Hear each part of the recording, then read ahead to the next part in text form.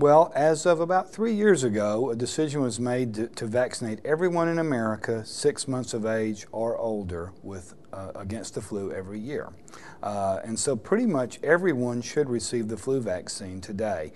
The rare exceptions are people who've had a severe allergic reaction to something in the flu vaccine. That does happen, but that's very rare.